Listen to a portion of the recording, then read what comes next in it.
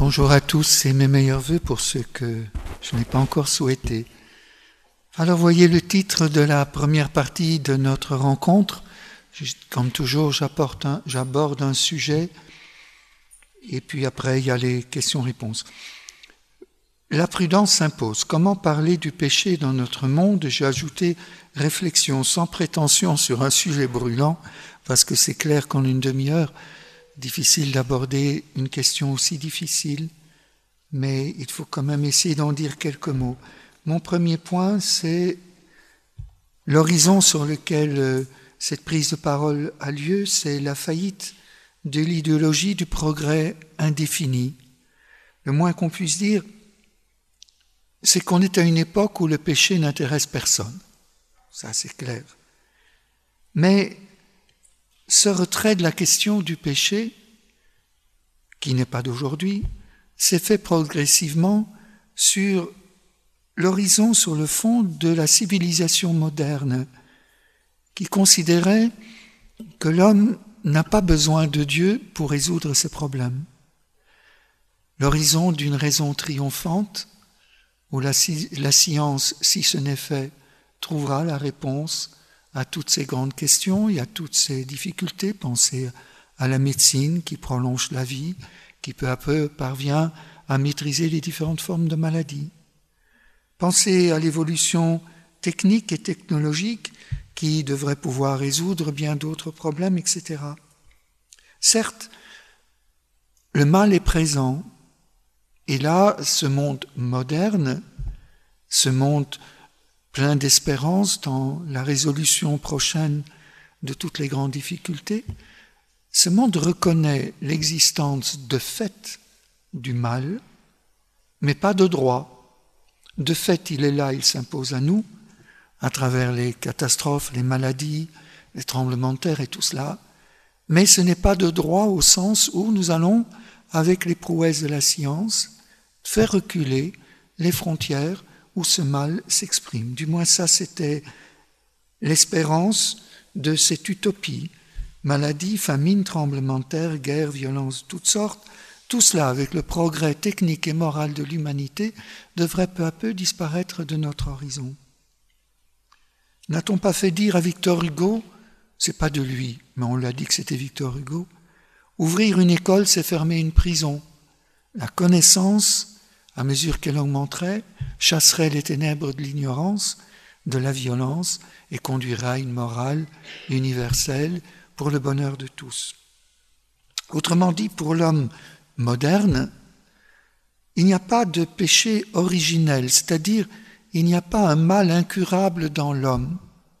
Kant avait essayé, il meurt en 1804, c'est le sommet du rationalisme, il était tellement frappé par l'existence d'un mal radical dans l'être humain. Vous savez, pour lui, il considérait que tout homme pouvait trouver en conscience la réponse à ce qu'il y avait à faire. Et c'était un impératif catégorique, c'est une manière de vivre qui s'imposait à lui au nom de son humanité. Et pourtant, il constate que ce n'est pas la manière de vivre du plus grand nombre, loin de là.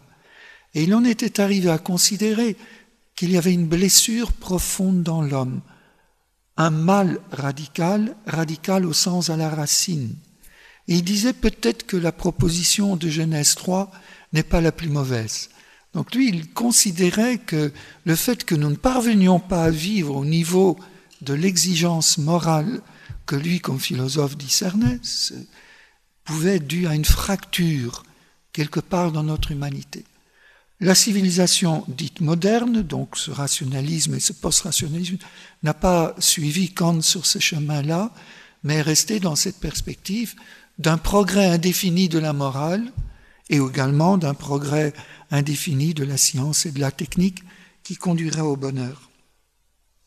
Je crois que ce n'est pas la peine d'insister. L'histoire du XXe siècle et du début du XXIe siècle ne confirme pas le diagnostic de ces penseurs optimistes. Quand même, le XXe siècle, avec ces deux guerres mondiales, ces génocides, et puis le XXIe siècle avec l'effondrement des tours, qui a été un peu symbolique au début de ce siècle et qui devait être un siècle de grande paix, et puis tous les attentats meurtriers qui continuent partout. Encore, on a fait lecture ce matin à la messe à Bellarieux d'un extrait d'une lettre d'un prêtre du Burkina Faso qui partageait sa souffrance que dans la nuit du 24 décembre, 80 femmes ont été froidement assassinées. Voilà, c'est l'effet divers de notre monde, on n'en parle même pas à la radio. C'est évidemment un peu dangereux parce que ces 80 chrétiennes qui sont assassinées, vous devinez par qui, bien sûr. Hein. Alors voilà, ça c'est le progrès vers une morale universelle. Je crois qu'on en est loin. Hein. On est loin et, et c'est d'autant plus grave que le mal vient souvent des pays qui devraient être porteurs de la lumière pacifique, de la raison. Non, on n'y croit plus tellement à ce progrès, on n'est plus tellement dans cette perspective optimiste. À ça s'ajoute la prise de conscience d'une évolution problématique du climat, là je suis en pleine actualité, mais qui est due justement à ce développement technique qui n'a pas été maîtrisé et qui d'ailleurs est toujours très difficilement maîtrisable. Donc voilà les activités humaines et plus progressivement le progrès technique qui est mis en cause. Et à travers lui, c'est quand même une bonne part de notre civilisation moderne et qui tout à coup se trouve en échec. On invite à un retour en arrière. Est-ce un retour en arrière, disons, vers plus d'humanité et moins de développement technique?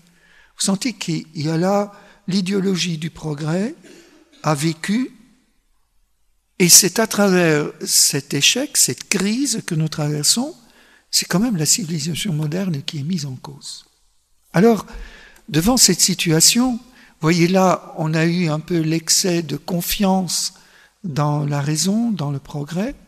Attention, maintenant s'annonce l'autre côté du balancier, une sorte de fatalisme. Or, quoi qu'on fasse, l'humanité va toujours retomber dans ces mêmes travers. C'est ainsi, le balancier va aller d'un progrès vers une catastrophe, etc. Entre ces deux extrêmes, peut-être que nous sommes arrivés à un moment où la réflexion chrétienne sur le péché a quelque chose à dire monde contemporain. Si vous souhaitez écouter la suite de l'enseignement, vous pouvez commander le CD audio sur notre site internet fsj.boutique ou le retirer dans l'un de nos magasins.